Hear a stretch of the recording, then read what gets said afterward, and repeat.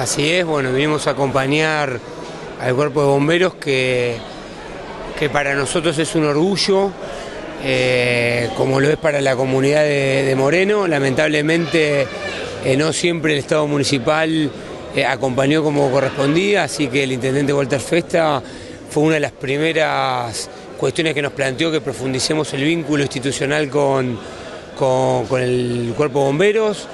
Eh, particularmente una persona con la cual trabajamos, te diría casi cotidianamente, como es Carlos Guard.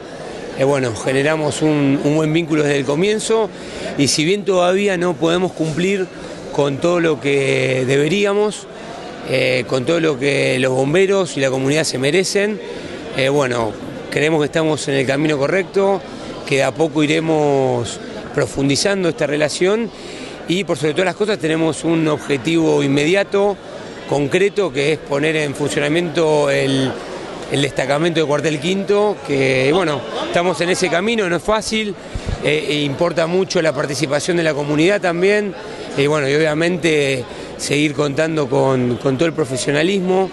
Me gustaría destacar eso, que quizás, como decía eh, Félix, no, eh, la palabra voluntario quizás no define o no describe del todo el trabajo que hacen los bomberos, porque son altamente profesionales y no hay nadie, eh, creo, en, la sociedad que, realmente dé todo por tan poco. Así que para nosotros bueno, es un orgullo y agradecerles en nombre del municipio.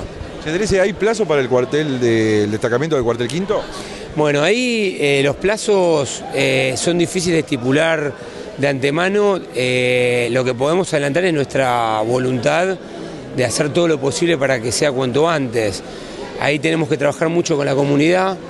Eh, los bomberos eh, es un patrimonio de la, comunidad, entonces es la comunidad la que tiene que eh, interpretarlo como tal, se tiene que apropiar del cuartel y bueno, y cuando tengamos todo el acompañamiento necesario de de la sociedad, de la comunidad en su conjunto, bueno, seguramente estaremos en condiciones de ponerlo en funcionamiento. Pero bueno, depende mucho de, la participación tanto de la comunidad, el municipio y el cuerpo de bomberos. El predio está, falta la construcción. Sí, falta, bueno, no totalmente, algo está, pero para avanzar en la construcción tenemos que generar unos acuerdos mínimos, te vuelvo a insistir, con, la comunidad, con los vecinos del cuartel. ¿Por qué?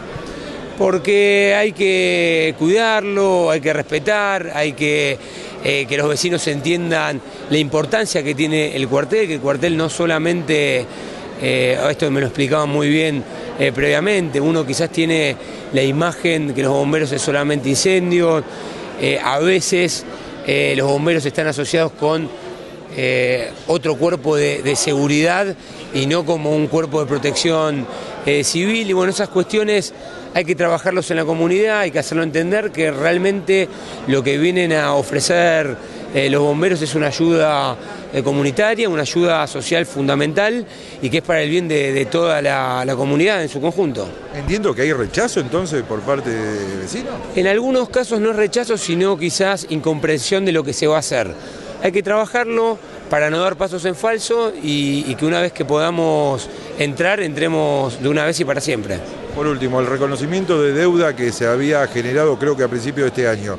Eh, ¿Se pagaron algunas cuotas? ¿Cómo está económicamente esa deuda? No, la deuda todavía está en gran parte vigente, deuda vieja, deuda actual, eh, porque te recuerdo que esa eh, deuda que se reconoció el año pasado, si mal no recuerdo el 28 de diciembre,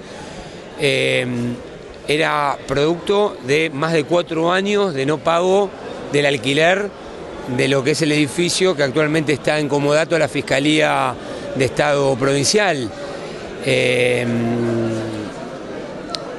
volvimos, renovamos el contrato con, la Asociación de Bomberos y lamentablemente se han acumulado también algunos meses de deuda, pero que de a poco vamos regularizando y vamos tratando de, apurar y que eso forma parte de lo que te decía al principio, de que quizás el municipio todavía no está cumpliendo con con el compromiso y la deuda histórica que, tenemos con, con los bomberos y a través de ellos con la comunidad en su conjunto.